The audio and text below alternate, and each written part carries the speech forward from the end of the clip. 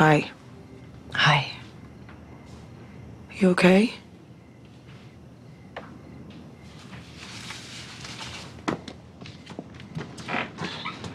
Where's Ian?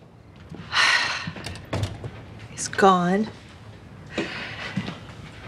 I harbored a fugitive, so go ahead and arrest me. I'm sorry.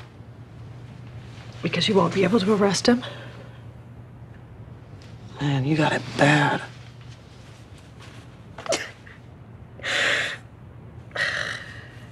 You know, when people talk about the loves of their lives, that's Ian. You never ever mentioned him. Because I try to forget him. I'm sorry, Maura. I, I shouldn't have done what I did. It's it's none of my business. I just, I can't, I can't talk about him. I can't with anybody because it makes me so sad. Wait, how can you, how can you love someone and not be able to be with them? Well, Why can't you be with him? Because he went back to Africa. You could go to Africa.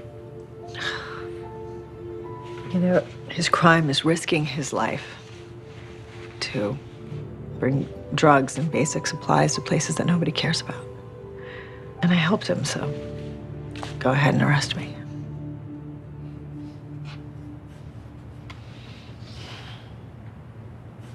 The first person I'm gonna arrest is my mother. What? Really? Highball glasses?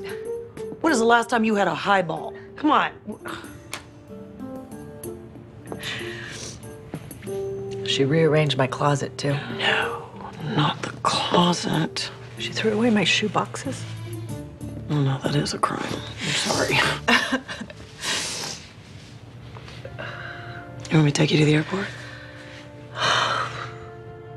No. No. You want me to sit with you till you feel better?